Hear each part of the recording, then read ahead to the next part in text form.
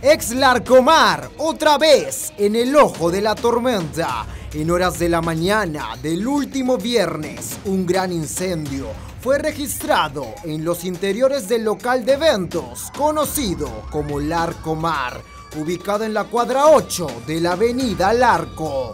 Uno de los vecinos de la zona comentó las posibles causales del hecho. Han estado trabajando, soldando y alguna chispa salpicada abajo y ya, de eso ha sido.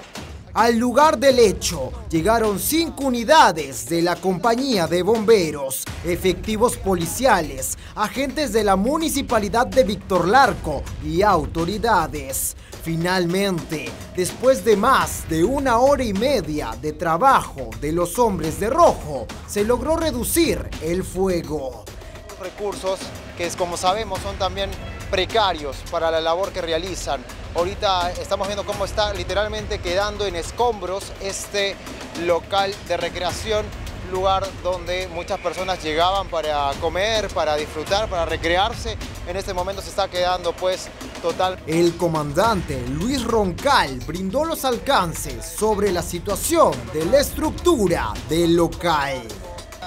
Sí, eh, eh, ha colapsado la estructura de la cobertura metálica, ¿no? como ustedes observan. Y bueno, ahorita es inhabitable. Pues, ¿no?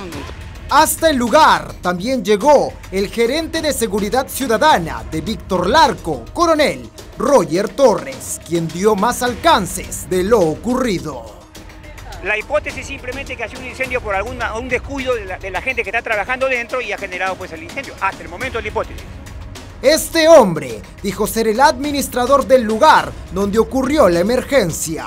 Comentó que el lugar se mantenía en remodelación, pero negó que se haya utilizado fuego en alguna de las acciones.